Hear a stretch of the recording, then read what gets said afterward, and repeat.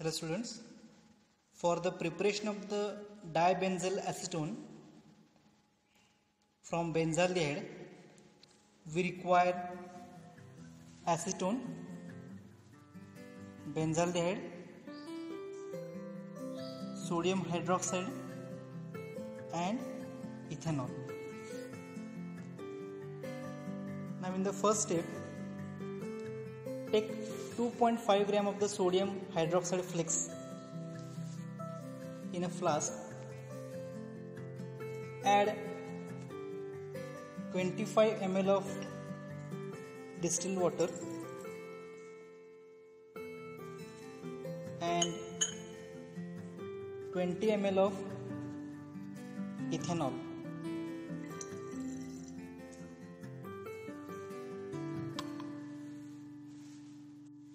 Now in another beaker we have prepared a mixture of 2.5 ml of the benzaldehyde and 1 ml of the acetone.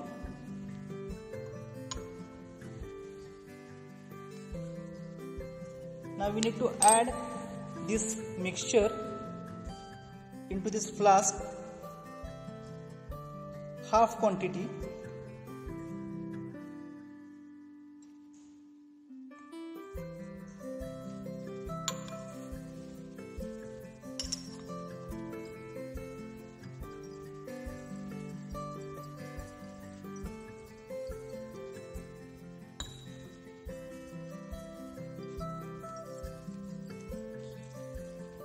Now shake the solution vigorously.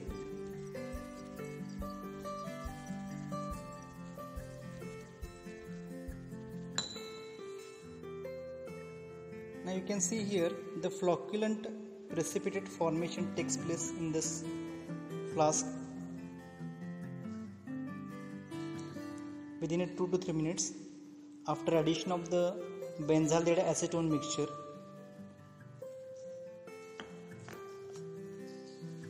now after 15 minutes you can add the remaining portion of this benzaldehyde acetone mixture into this flask.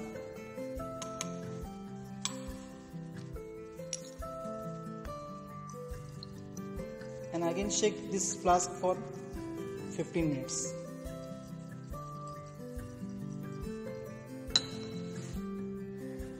Now you can see here the formation of the dibenzal acetone.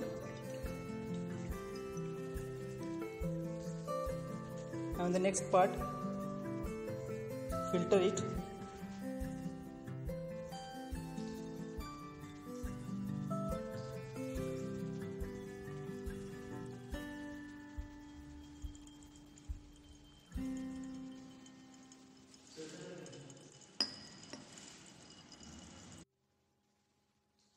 Now after filtration, wash this crude product with the cold water.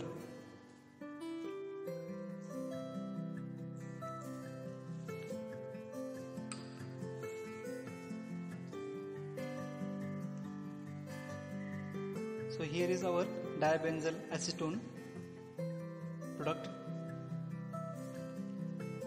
Now you can recrystallize this product using the rectified spirit.